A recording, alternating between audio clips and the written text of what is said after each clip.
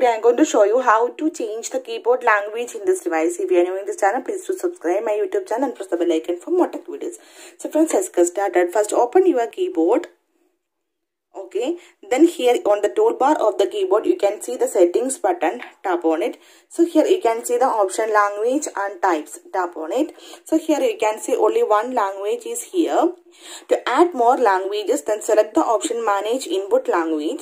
So here you can see lots of languages and from here you can easily select the language that you want to set as your keyboard language. So simply here I am going to select the language Hindi. Just turn on this option. Now go back. You can see two languages here. If you want to add more, then select this one.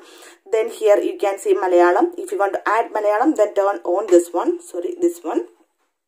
If you want to add Marathi, then turn on this one okay now go back here you can see four languages is here this is default one english hindi malayalam and marathi now i will show you how it works now go to your keyboard again now go to your keyboard. Now i will show you how to switch between the uh, added languages. Just swipe right or left the space bar. You can see the hindi then malayalam then marathi language is here. You can see english hindi then malayalam then marathi.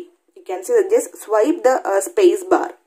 So simply in this way you can change the keyboard language in this device. So hope you guys enjoy this video. If you like this one please like and share. And don't forget to subscribe this channel for more updates.